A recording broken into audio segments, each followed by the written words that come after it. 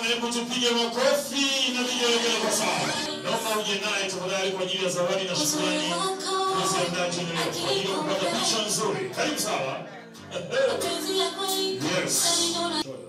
Sala amejua kuchagua. Mpigieni basi makofi na vigelegele nyinyi kwake. Sala nikiwa kama mshereheshaji mkuu jioni ya leo, sina mamlaka yoyote, lakini nakupa ofa. Mwangalie mume wako mtarajiwa kidogo, mwangalie kidogo, pige busu fupi kidogo la kupendeza kidogo, hata mkononi. Kanisa liruhusu, hata mkononi kidogo tu. Salamu mume wako mtarajiwa huyo, hakuna mwingine eh. Kidogo eh. Eh, asante kanisa, piga makofi mengi mengi eh.